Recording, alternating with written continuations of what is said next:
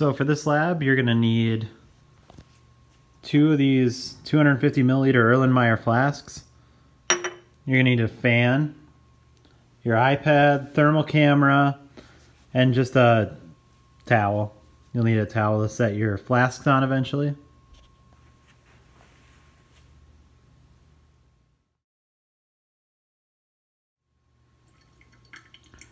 Okay, so the very first thing you want to do for the procedure this lab is to fill up both of your 250 milliliter flasks with about 200 milliliters of cold tap water. So 200 milliliters cold water in both of these flasks.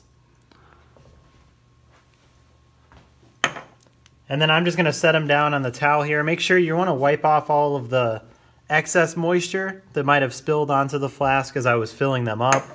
That's really important because that could really throw off your data when you're using the thermal camera to take your pictures for this lab. So set your towel down. You're going to want to set your towel down.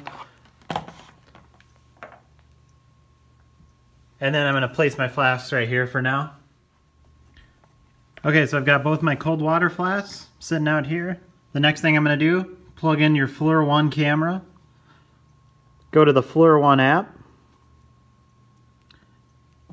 Once it connects, all you're going to do is calibrate. Make sure to calibrate.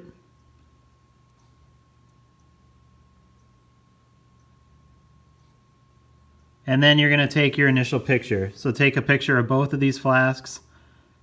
That'll be your initial picture, uh, and you're going to use that to write down the values for the starting temperature of each of your flasks.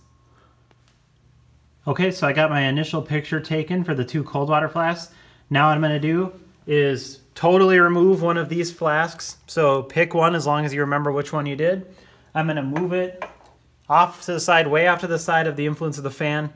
I'm gonna center my flask that I'm actually gonna run under the fan. Tilt the fan down so that it's facing the flask, and then I'm gonna run it on high. So you're running the fan on high for about 10 minutes here. Running the fan on high for about 10 minutes. And then we'll come back and that's when we'll take our final set of pictures for the cold water experiment here. So my fan's been running here for 10 minutes now. What I'm gonna do is turn off the fan. I'm gonna move the one that wasn't under the fan back right next to the one that was under the fan. Make sure not to touch anywhere but the top here because that might throw off your thermal data. So I remember now this was the one under the fan and this was the one that was away from the fan. And all I'm going to do now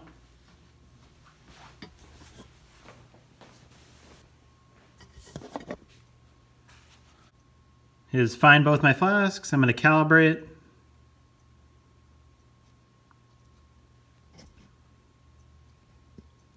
And then I'll take a final picture. So for part one, all you need is two pictures. You need your initial picture and then the final picture after the um, flask was running under the fan for 10 minutes. So now we'll move on to part two.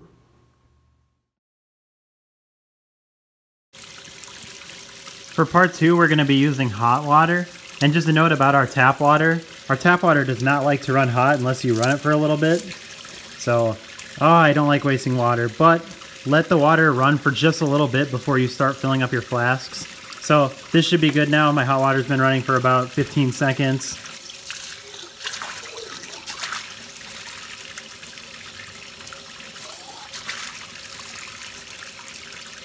That's pretty close.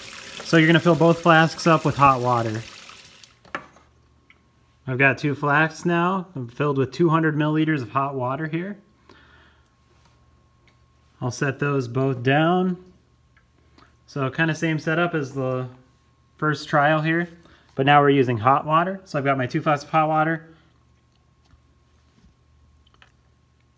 It's going a lot hotter than the cold one, obviously. You can see that in the thermal image. Make sure to calibrate. And then we're gonna take an initial image here. So I got my initial image taken. Same idea as trial one. I'm going to remove one of the hot water flasks. Totally remove it from the influence of the fan. Adjust my fan so that it's facing the hot water flask that I'm going to be running under the fan. and I'll turn it on high. We're gonna run this for 10 minutes as well. So after 10 minutes, we'll come back and take our final picture. So after 10 minutes, again, I'm gonna turn off my fan, fan's off. I'm gonna move the hot water that wasn't under the fan back. So this is my hot water not under the fan, hot water under the fan.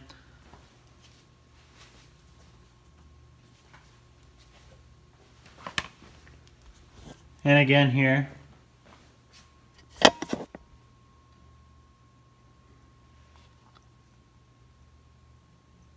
I'm going to view it in my FLIR One, calibrate, and then I'm going to take my final picture. So you should have four pictures, a cold water before and after and a hot water before and after. And those are all you're going to need to finish the lab write-up. So if I go into my screenshot setting, for example, this was my final picture for the hot water.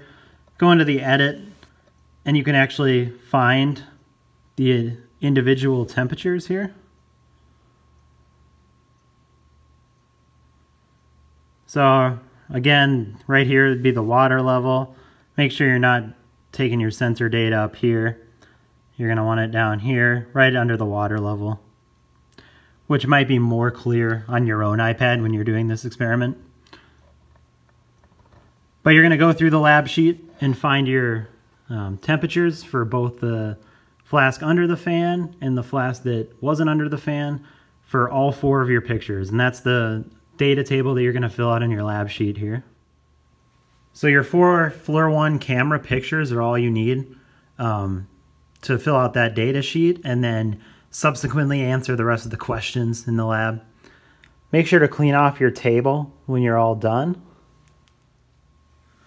Oh wow, that barely took any time to clean up at all. Thanks, Professor Rex and Baby Groot. Again, let me know if you have any questions filling out the rest of that data sheet.